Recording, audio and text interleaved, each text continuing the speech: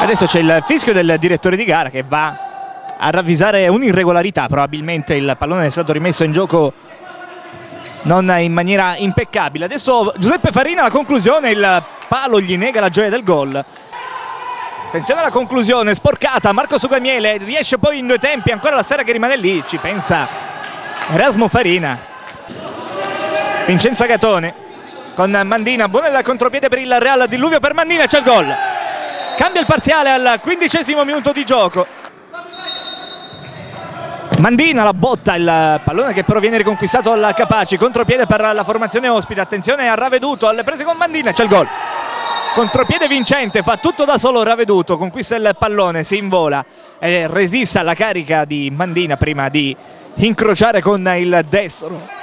Partita a tratti maschia ma non ci sono stati assolutamente interventi scomposti fino a questo momento, da sottolineare quindi la sportività e la professionalità dei giocatori che si alternano in campo. Attenzione adesso all'Atletico Capaci che riesce a trovare il varco vincente con il numero 17 Pressi Giacomo, abile.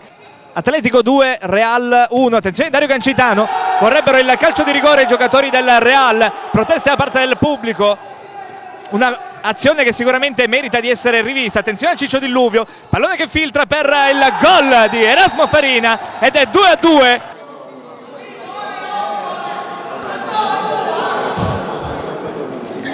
Agatone e Dario Cancitano sul pallone, quattro giocatori dell'Atletico Capace a formare una barriera, c'è il gol!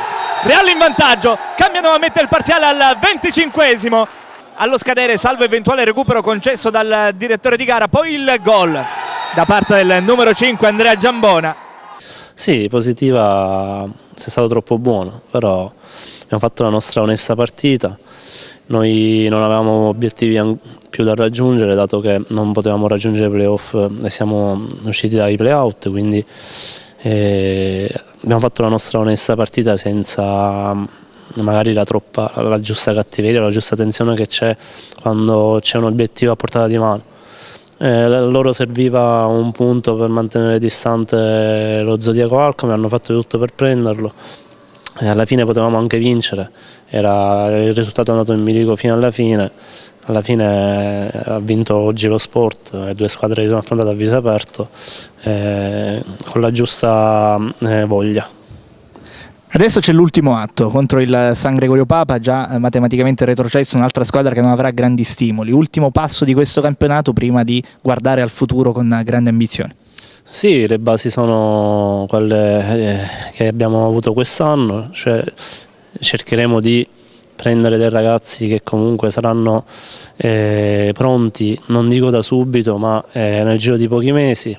Ci saranno, spero, dei ritorni, ne stiamo, stiamo lavorando ma purtroppo questi campionati così sappiamo che puoi organizzarti quanto vuoi, ma quando il lavoro chiama eh, magari dopo un mese un ragazzo va via e quindi sei costretto a eh, riscrivere di nuovo i nuovi obiettivi.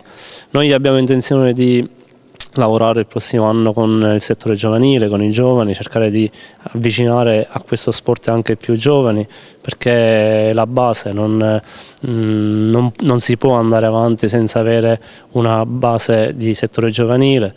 Eh, cercheremo in tutti i modi con il Presidente Saia di eh, avviare una bella eh, situazione anche a Marsala, tra Marsala e Mazzara eh, penso che iscriveremo una squadra in Serie D per fare, fare esperienza a questi ragazzi e vedremo un po' come, come si evolve la situazione. Fatto sta che non molliamo sicuro, eh, quest'anno è andata come è andata, ma eh, per il futuro io sono molto, molto fiducioso e molto contento anche perché la società è, ha delle basi solide eh, e, e in, in, questo sport da eh, tanti anni, il Presidente Saia non ha intenzione di mollare, Abbiamo, siamo qua eh, a parlare nell'ultima partita dal, del prossimo anno sperando che eh, il prossimo anno gli obiettivi saranno diversi.